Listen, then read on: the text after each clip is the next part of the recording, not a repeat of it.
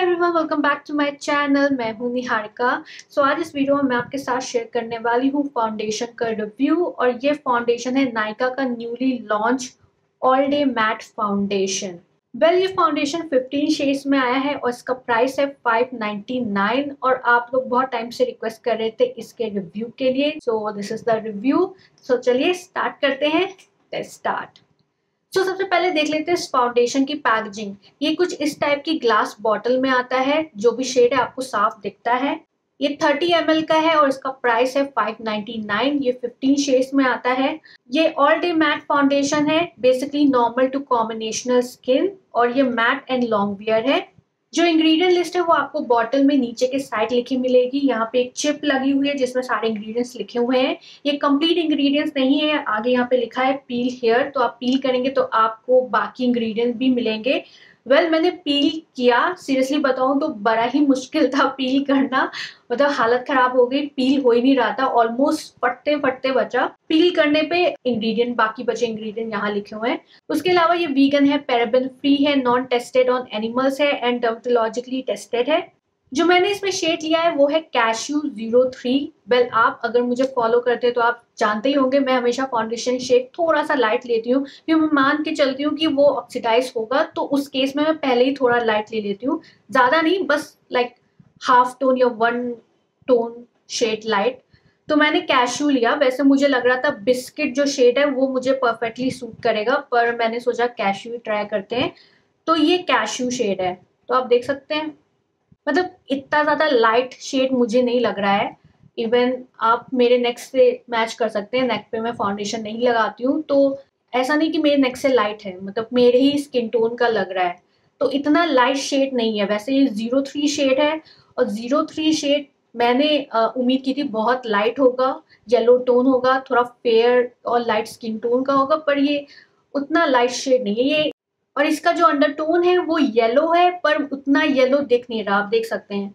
ये येलो कम और लाइक जो स्किन टोन का अंडरटोन होता है ना लाइक पीची टाइप का बेस टाइप का जो अंडरटोन होता है, वो ज़्यादा दिख रहा है देन येलो मैंने इस फाउंडेशन को आज अप्लाई भी किया है तो मैंने इसी को वेयर किया है।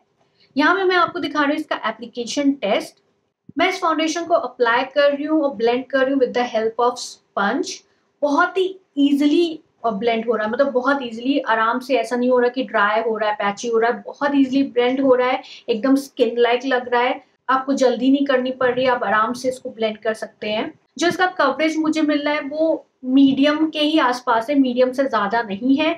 आप बिल्डेबल भी करेंगे तो भी मीडियम ही रहेगा। मतलब इस like sheer to medium single layer में थोड़ा मीडियम से नीचे कवरेज रहता है डबल लेयर करेंगे तो मीडियम लेयर हो जाएगा। उससे ज़्यादा कवरेज आपको नहीं मिलेगा। जो इसकी फिनिश है बहुत ज़्यादा नेचुरल लग रही है नेचुरल एंड डूई फिनिश मैं कहूँगी, ये मैट फिनिश तो नहीं है, कहीं से नहीं है, ये डूई नेचुरल फिनिश दे रहा है।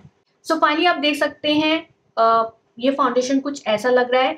ये बहुत हद तक मेरी स्किन टोन का ही शेड लग रहा है। मतलब ये तरीके से लाइट शेड नहीं है, जो मैंने सोच के लिया था।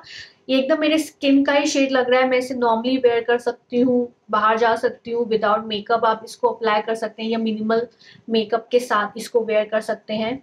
ये लाइट वेट लग रहा है हाइड्रेटिंग लग रहा है हैवी फाउंडेशन कवरेज जैसा नहीं लग रहा। ये वैसा ही है जैसा कि बेटर स्किन वाला जो फाउंडेशन चलते हैं। उसी की रेंज में आप इसको रख सकते हैं। इसने जो स्पॉट्स और पिगमेंटेशन ने हल्का सा ब्लर आउट किया है थोड़ा सा कवरेज दिया है, लेकिन पूरी तरह हाइट नहीं करेगा, आपको उसके लिए कंसीलर लेना पड़ेगा।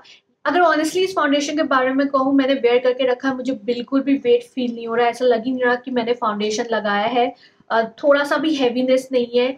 और देख, जब आप नॉर्मली भी अप्लाई करते हैं तो इतना हैवी कवरेज सा नहीं देता है कि लगे कि मेकअप किया है। बहुत ही नेचुरल सा लगता है, जो कि काफ़ी अच्छी चीज़ है। आप इसे एवरी डे वेयर कर सकते हैं। और समर के हिसाब से भी काफ़ी लाइट वेट है, जो कि बेस्ट चीज़ है। हाँ ये काफ़ी ज़्यादा डूई फाउंडेशन तो ऑयली स्किन के लिए बेस्ट नहीं है।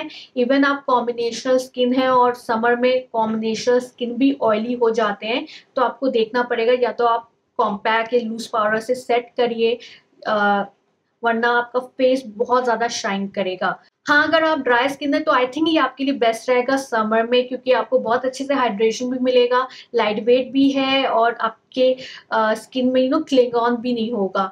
तो आप इसको आराम से यूज़ कर सकते हैं नॉर्मल और ड्राई स्किन के लिए तो आई थिंक ये बेस्ट चॉइस है। बाकी स्किन टाइप को चेक करना पड़ेगा कि उन्हें इतनी डूइनेस चाहिए कि नहीं चाहिए। अदरवाइज़ एक बजट में अच्छा डूई फाउंडेशन है। के ब्यूटी काफ़ी एक्सपेंसिव है, अगर आप उससे सस्ता कुछ ढूंढ रहे हैं तो ये बेस्ट है। फाइनली आते हैं ऑक्सीडेशन टेस्ट पे।